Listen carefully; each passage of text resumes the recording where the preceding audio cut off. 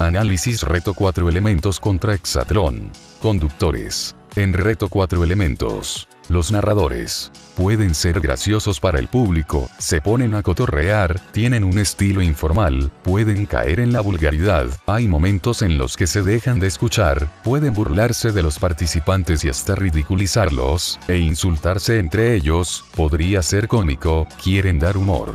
Moserrato Olivera se preguntas a los participantes.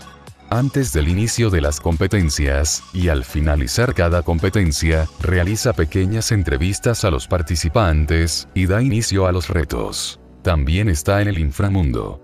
En el hexatlón. Está Rosique, como comentarista, da un discurso motivacional a los competidores antes de la competencia. Anuncia las recompensas. Dodo con su estilo. Pues es una voz conocida en la narración de fútbol y comentarista deportivo tiene más seriedad, de calidad de narración de un partido, o competencia olímpica. No hay entrevistas a los participantes. No los interrumpen, tienen la oportunidad de reaccionar después de la competencia. Los participantes se comportan con más naturalidad, y tienen tiempo de darse consejos. La principal diferencia entre reto 4 elementos y hexatlón es que, en el hexatlón se centra en la sobrevivencia, compiten por comida y refugio, tienen una alimentación muy limitada, a solo un plato de alimento, ya sea arroz hervido o algo similar, un plátano y una rebanada de piña. Y agua bebible limitada. Todo lo contrario a reto 4 elementos, donde disponían de comida variada incluyendo proteína, frutas y verduras.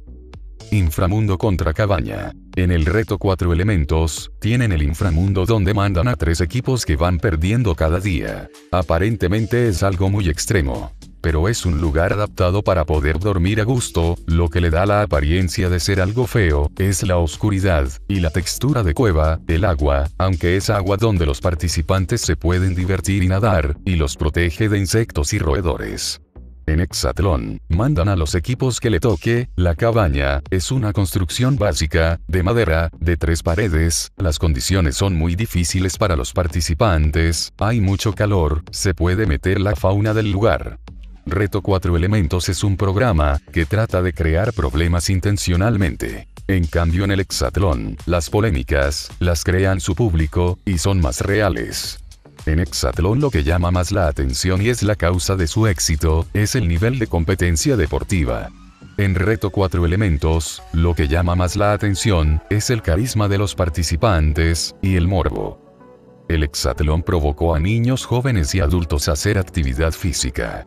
Imitando a los participantes, haciendo sus circuitos caseros mientras que en Reto 4 elementos, sería peligroso que niños o jóvenes traten de imitar algunos circuitos, pues se necesitan precauciones. Además hay algunos juegos, principalmente en el inframundo, que no son aptos para los niños, pues fomentan el maltrato animal, y cosas asquerosas.